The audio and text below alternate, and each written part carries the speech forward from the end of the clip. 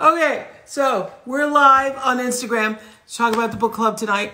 I am um, in my personal office. I have to tell you, I love being here. It's one of my favorite rooms in the house.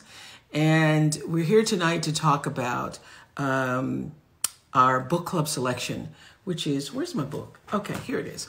Uh, we're here tonight to talk about Hidden Valley Road.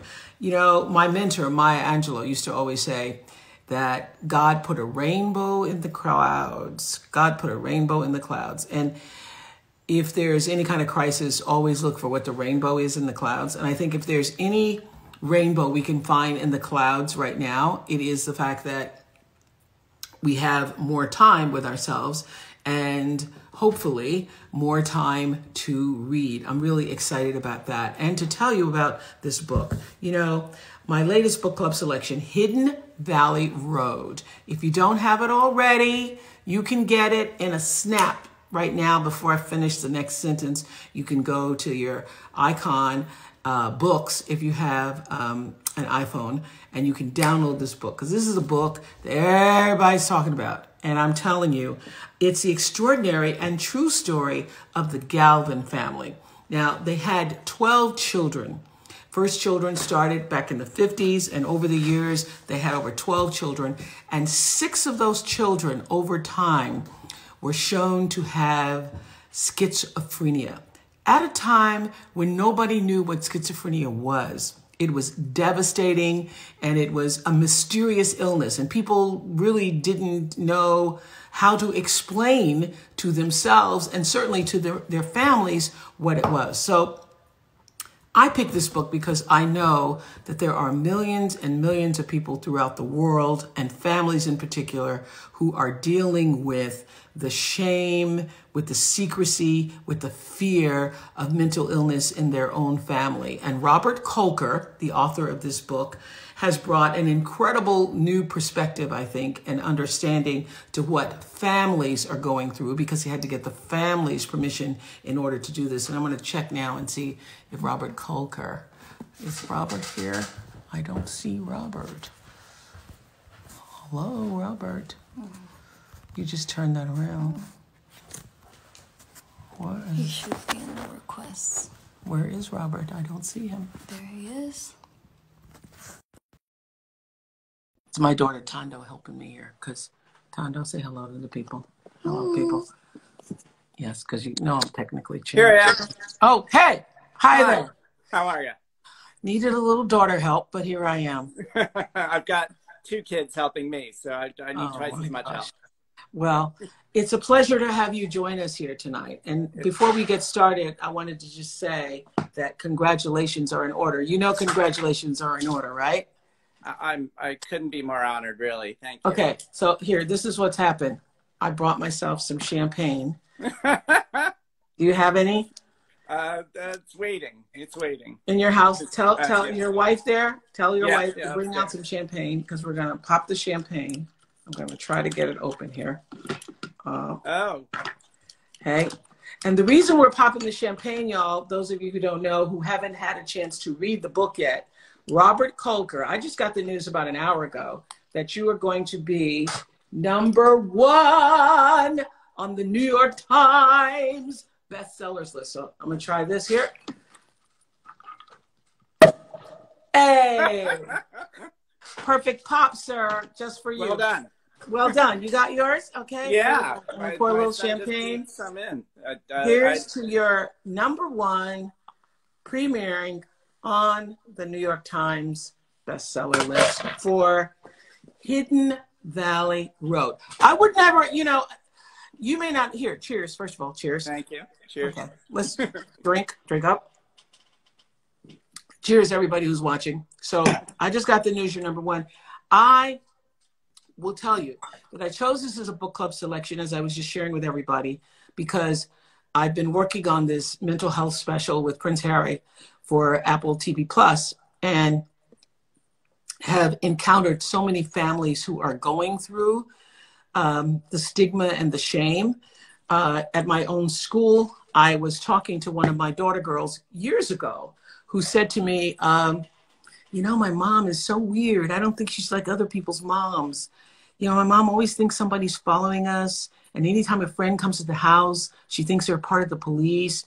And I started to know that, you know, this young girl who was part of my school was experiencing schizophrenia in her own mother and didn't have the words to describe what that was. So I have had some encounters with a number of people, some of them who've been through traumatic circumstances, who have been dealing with mental illness. And so I was attracted to this book because we were doing this special on mental illness. I wasn't even thinking about it as a book club. It's a true story.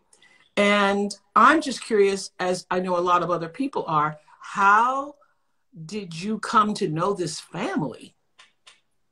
Um, well, first of all, I'm really very grateful to you that you chose the book, and I, and I know that the family is too. Um, they can't wait to talk to you. I, I'm a I'm a journalist. I my career really took shape at New York Magazine, where I wrote feature stories and cover stories for 17 years, and I had a book several years ago. The sorts of stories I do are really about human dramas that are that are real life dramas. And it's a bonus when those stories are also about very important issues that all of us face. And my goal in in telling these stories is to try to make the world a little smaller. Don't you have a don't people. you have a drama that's on netflix right now? That's right. The first book i wrote lost girls uh, is about the unsolved long island serial killer case but really it's about the families affected by that case. And there's a movie on netflix now starring amy ryan that as an accident of timing came out just a few weeks before this new book so I'm, I, you know, I look for stories that where people are facing adversity, where people are are experiencing something that that sometimes gets swept under the rug or that people overlook. And when I met this family through my good friend John Gluck, who went to high school with the youngest member of the family, oh. and the family told me that they had been through all of these hardships and now were ready to have their story told I first thought how difficult it would be to get the perspectives of so many people. As you said, it's a family with 12 children. Mm-hmm. But then I thought, what an opportunity to really help people see something that often is so stigmatized as, yeah. as you experienced with, with the young girls who came to you. Um, yeah. So, so did you know anything about mental illness before? Were you interested in it or had members of your family? Um, I've had some members of my family with challenges, but certainly not schizophrenia. Yeah. That, that subject specifically was very new to me. And so it was a good mix of old and new. As a nonfiction author, I, I had talked to vulnerable people before and talked about difficult family situations before, but the schizophrenia part was new. And it be, became this whole saga in itself. It, you see in the book that, yeah. that our thinking about schizophrenia was so wrong for so long, so yeah. many debates so many so many wrong decisions and missteps and that alone was a crazy story. Isn't it incredible how we got it so wrong how they were blaming the mothers how they were giving people electroshock treatment how they would throw you in, uh, uh, in an institution and lock you up for years because it was so misunderstood? Yes and i'm not sure if your club got to it yet but the people who the people who were blaming the mothers they were doing battle with the people who wanted to uh, sterilize or lobotomize mentally ill people. So it was like wrong against wrong, you know, yes, yes nobody yes. was right. So um, were you able to, I, I love how in the book, which as I said, you can get wherever books are sold, y'all, or you can like download right now in a snap. I'm, I'm, I'm always fascinated how quickly you can download a book. Um, go to Apple Books right now. But I would say that what fascinates me is that every chapter you're looking at another member of the family and at first, it's hard to keep track of everybody. But were you able to interview every member of the family, or did other family members tell you about some of the other family members? I interviewed every surviving member. So there are mm-hmm. three deceased sons, all of whom were mentally ill. So I interviewed the uh, the remaining three mentally ill sons and I, and the remaining six uh, well children. And I interviewed Mimi before her death in 2017.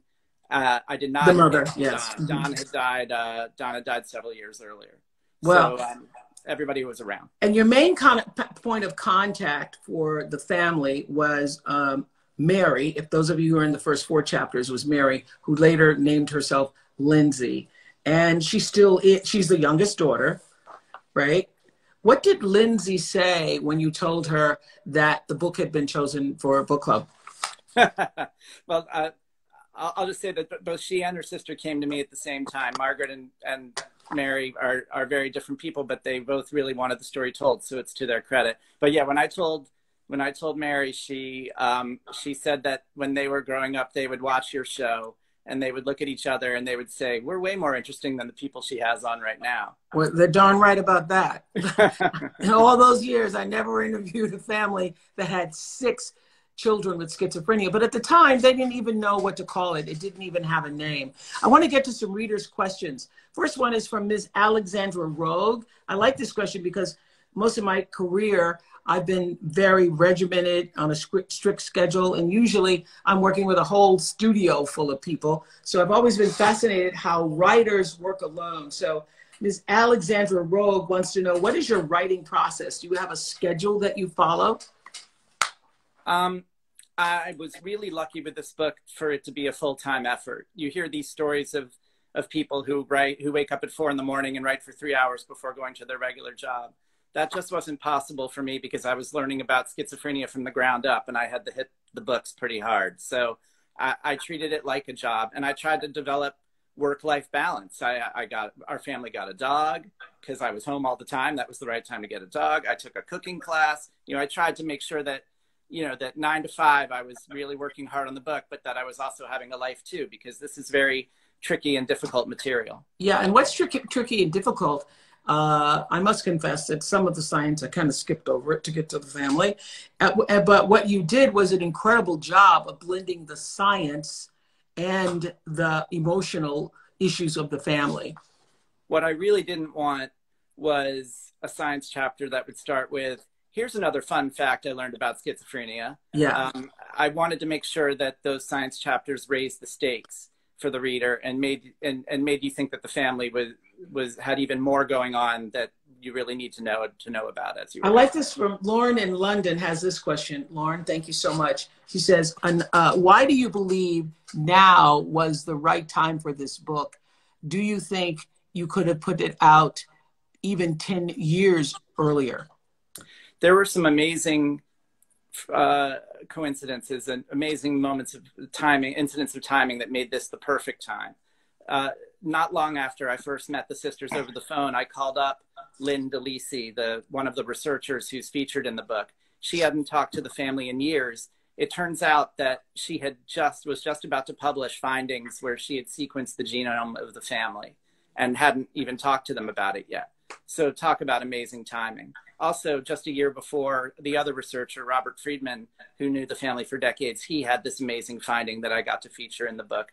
Finally mimi after many the mother of the family after many years had finally come around and had decided it was all right to go public and was very enthusiastic about it and how good that she did because she ended up passing away you know within mm-hmm. a year of uh, me meeting her so i think if we had done it 10 years ago there would have been less to report and probably more secrets to keep.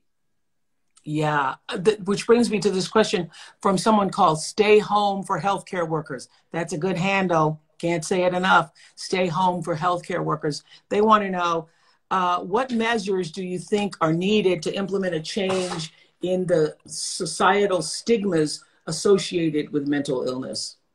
I think everyone needs to understand that early intervention can work wonders, particularly even with the most the most acute mental illnesses like schizophrenia, which we still don't really understand. But what we do understand now is that someone who has two or three psychotic breaks, but then has good care, is doing much better than someone who is left alone because of a stigma and ends up having 30 before they're mm-hmm. 25. So if you if if you go to your teenager who's feeling out of sorts, who's feeling uh, like a stranger to themselves, who is hearing voices, and get them immediate care and attention and don't ask for them to sweep it under the rug, then we're really going places.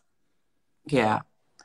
Uh, Samantha Fitz has a question for me. I think is really important to address. She asks, "What advice do you give to families, in particular African American families, that are afraid or embarrassed to discuss past family mental health issues, and more significantly, schizophrenia?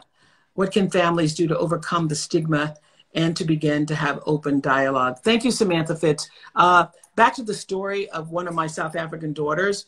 Who had never discussed it ever before with anybody in her family. I think if you, Samantha, have it in your family and you start talking about it with just one sister, brother, cousin who's willing to talk about it, it begins to open up the aperture for the family to discuss it. And at first, as you know, Robert, very hard because everybody wants to act like it didn't happen or it didn't happen the way you remember it happening. But I think getting one member of the family, as in this story on Hidden Valley Road, the one member, uh, Lindsay, and then her sister, of course, Margaret, Mary and Margaret, were willing to talk about it in ways that other members of the family were not. It, I, I couldn't be more impressed with both of them and with the whole family. It took a long time for them to come forward. To answer your questioner, I think we all need to realize that the, the stigma is for a reason. And that's because for decades, when you've learned something was wrong with your child, your next question is, well, what did the parents do to them? And, and sometimes it, that might be the case, but with an acute mental illness like schizophrenia, it's genetic. I think that the, the lesson to drive home for all of us is this is not as uncommon as you think. There are at least 3 million Americans alone who suffer from it. Uh, that's like one percent of the population, essentially. Mm-hmm. And and uh, and it's a it's a real disease. It's not a, a failure of nerve or anything like that. Uh, I want to tell everybody you can download the book by clicking the link in my bio. You don't even have to like go to Apple. You can just that'll just take you right to Apple. It's it's amazing how quickly you can get this book. Wow. So last question. Here's from Queen Bee 1241. Um, Queen Bee wants to know what's your favorite book growing up? I'm going to let you answer that, and then I'll, I'll, have to ponder what was my favorite favorite book. What was your favorite book growing up?